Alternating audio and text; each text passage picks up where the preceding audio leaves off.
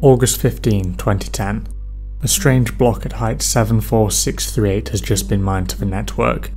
Over an hour later, this abnormality is noticed by developer Jeff Garzik, who initiates a thread on the Bitcoin Talk forums. The block contains a transaction that has created just over 184 billion Bitcoin, seemingly out of thin air, split between two addresses. The integrity of the entire network had just been jeopardized. This is the 184 billion Bitcoin bug. 1904. A new development thread is started by LFM, sharing initial findings as to the cause.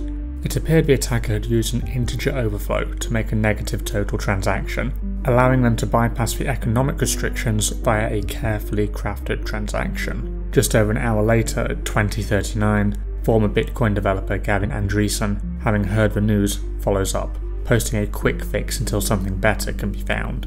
Whilst all this was going on, however, the bad chain was growing longer, and there was not much anybody could do to stop it. 2059. Satoshi joins the conversation, sharing their preliminary thoughts and code changes for feedback, as well as asking people to stop mining, stating, We will probably need to do a rebranch around the current one. The less you generate, the faster it will be. We will need to cause a reorg which will disconnect the invalid chain. 2140. The patch is uploaded. Satoshi reiterates Andresen's words on how to apply the fix and promises to build releases shortly.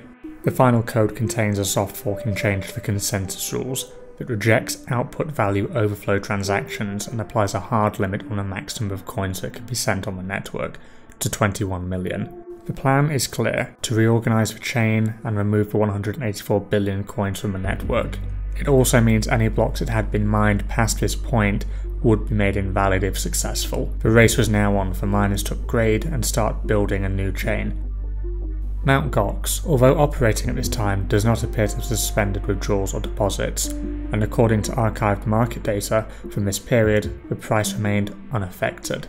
It remains unclear if Mark Karpelès, Mt. Gox's CEO and traders at this time even knew what had just transpired, or if the attacker made any attempt to actually sell these coins. Perhaps it had all just been for a bit of fun, there was no malintent to profit. Still, the fight was going on to clean up the mess and restore the network.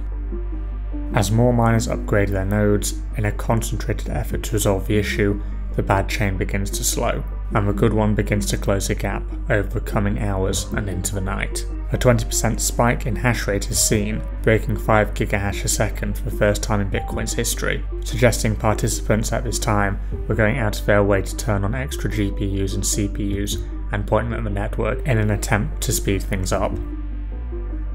9.20 on the 16th of August, 16 hours after discovery, the good chain finally takes over, causing a reorg at block height 74691. 53 blocks were overwritten, and 2,650 Bitcoin in mining rewards, valued at around $185 at the time, were reversed from those who had continued to mine the bad chain.